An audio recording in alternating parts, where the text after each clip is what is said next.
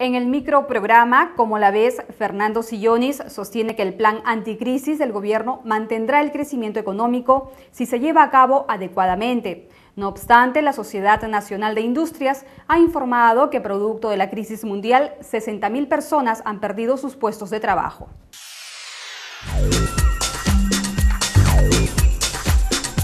El anuncio del plan anticrisis del presidente García fue un buen anuncio.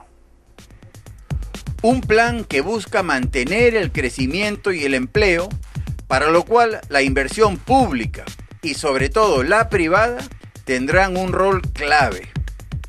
Efectivamente, si se detiene el proceso de inversión que tan buenos resultados ha venido dando en los últimos años, el plan habrá fracasado.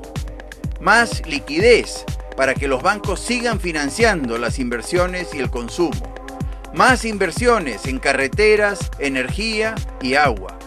Acortar los trámites burocráticos para autorizar inversiones promover las asociaciones público-privadas y, muy importante, permitir el pago de impuestos con obras públicas.